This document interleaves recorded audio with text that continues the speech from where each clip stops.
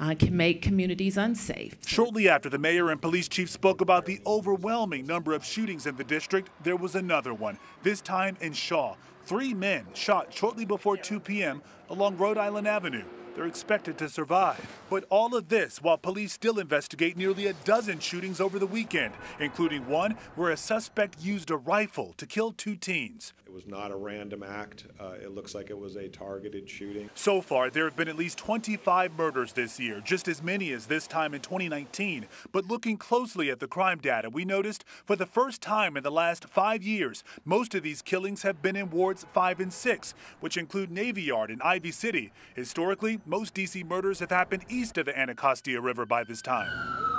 City leaders began noticing a shift in deadly crime late last year. It's why they began moving resources to once quiet areas of the city during their first ever fall crime initiative. Unprecedented. Mayor Bowser continues to point the finger at illegal firearms being brought in from neighboring states, primarily Virginia. what that is going to take is a real push against the NRA, a real push uh, for our Congress.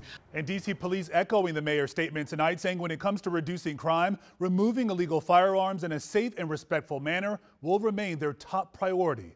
I'm Lorenzo Hall, WUSA 9.